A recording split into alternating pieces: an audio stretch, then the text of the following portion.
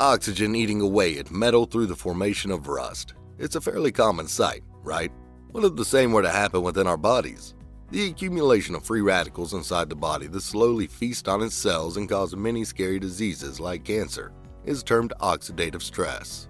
In today's video, we're going to look at oxidative stress in detail. What are some of the signs and how you can try to reduce it? So let's jump right into it, shall we? What is oxidative stress? Oxidative stress is the imbalance of free radicals and antioxidants. Whoa, whoa, stop right there. What are free radicals and antioxidants? To understand that, you'll need to wrap your head around a little chemistry. Don't worry, we'll try to simplify this as much as possible. I'm assuming that you haven't taken a single chemistry class in your life, so let's start with chemical reactivity. How reactive an element is depends on the number of the electrons in the last shell of its atoms. Think of an atom as a ball that's surrounded by concentric rings. These rings increase in diameter as you go outward from the central ball. Each ring needs to have a set number of balls for completion. The central ball is the nucleus of the atom, and the balls on the rings are electrons. All the electrons of the atoms are filled in shells from the nearest shell from the nucleus to the farthest. If the outermost shell is not greater than or equal to everything, tries to achieve stability. If you disturb a stationary pendulum, after a few vibrations, it would return to its resting place. Similarly, the atoms try to achieve their stability by trying to complete their shells. To achieve this, the atoms bargain with other atoms and compounds to complete their shells by either donating their electrons or taking them from other atoms. In the process, they form bonds and compounds, but let's not get into the detail of that. The unstable compounds with an unpaired electron that can exist independently inside of our bodies are known as free radicals. These reactive species readily react with anything and everything wherever they are, thus leaving a trail of destruction behind. Being unstable, they try to complete themselves by stealing electrons from atoms of cells, and by doing so, they make those atoms unstable. You can guess what happens next. A chain reaction of atoms getting unstable and making others unstable, and in the process damaging and interfering with different functions of the body. There are many different free radicals, but the most important oxygen containing radicals include hydroxyl radical, anion radical, hydrogen peroxide, oxygen singlet, etc. These radicals are highly reactive and can damage the DNA, proteins, carbohydrates, and lipids in the cell membranes and nucleus. While these reactive species don't distinguish between friends and foes and attack everything indiscriminately, their major preys include lipids, nucleic acids, and proteins. So free radicals are bad news for our bodies, but you might be surprised to know that some of these free radicals are produced by our bodies. If free radicals are such a bad thing, then why do our bodies produce them? Well, it can't be helped because they are produced as a byproduct of metabolism. Other than that, we can also get exposed to free radicals through cigarette smoke, polluted air, x rays, ozone, and industrial chemicals. Also, exercise, inflammation, and certain drugs can lead to the generation of free radicals. But where does oxidative stress fit in all of this?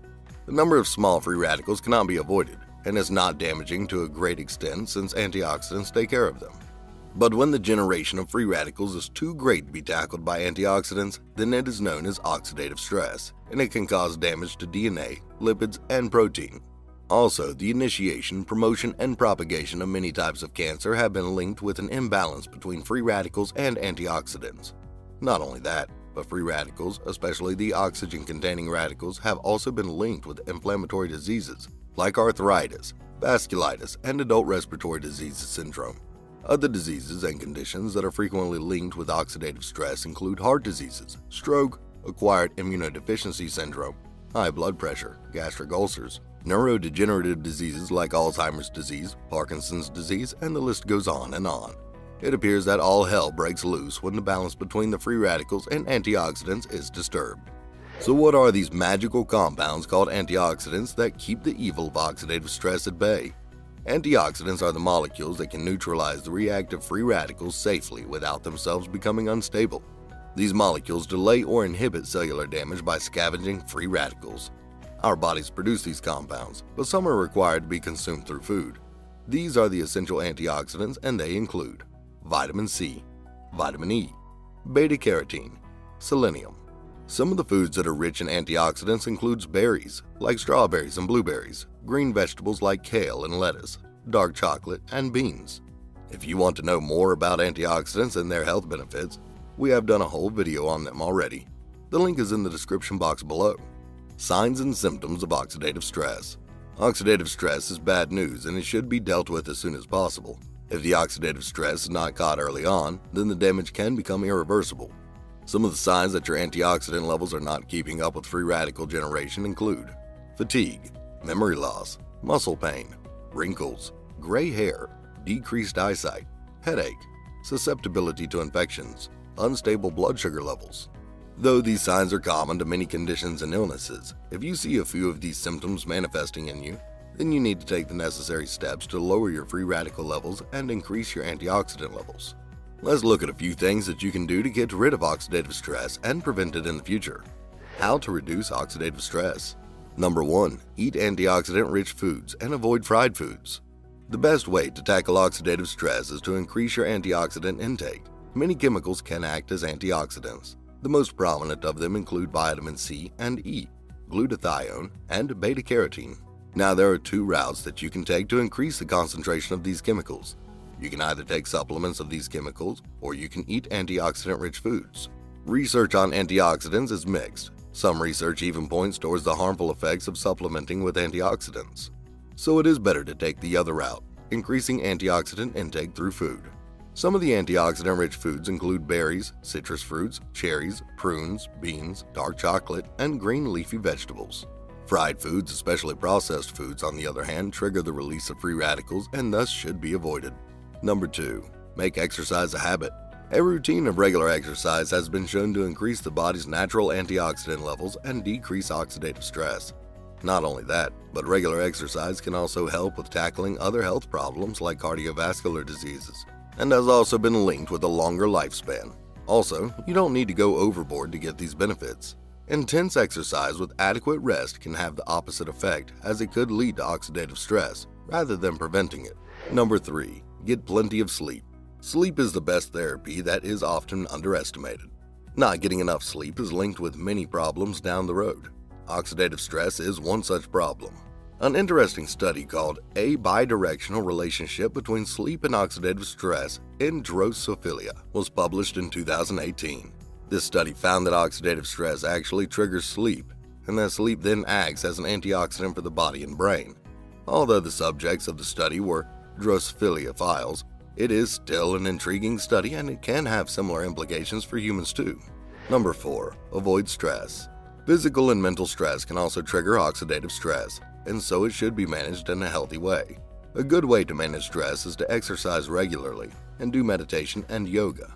Also, improving lifestyle and quality of sleep can help reduce stress and consequently oxidative stress. Number 5. Quit smoking and avoid pollutants. Smoking is bad for your health. Even smokers cannot argue with that. Mostly we know smoking to be responsible for lung diseases, kidney diseases, and many different types of cancer. To add to the misery, it can also trigger oxidative stress. A study published in 2007 found that smoking can trigger oxidative stress not only through the production of reactive oxygen radicals, but also by weakening the antioxidant defense system in the body. Similarly, exposure to pollutants and industrial chemicals also leads to oxidative stress. Finally, to summarize, when the concentration of free radicals becomes greater than the antioxidants, then our body experiences something called oxidative stress. Oxidative stress is linked to many serious problems like cardiovascular disease, DNA damage, and even cancer. Free radicals are the reactive species with an unpaired electron that can react with the molecular structure of the cells of our body and damage them. These free radicals are released during metabolism and on exposure to environmental pollutants and cigarette smoke. Antioxidants neutralize these reactive compounds and keep the body safe from oxidative stress. Some of the signs of oxidative stress include fatigue, muscle pain, memory loss, wrinkles, and decreased eyesight, among others. Some of the ways of combating oxidative stress include eating antioxidant rich foods, exercising regularly, and improving sleep, among others. We hope that you benefited from this video. If you did, please hit that like button and share this video with your friends and family. Want to see more videos like this one? Please subscribe to our channel, Welcome to Wellness, and press that bell icon as well so you never miss another video. We'll see you in another healthy video. Until then, take care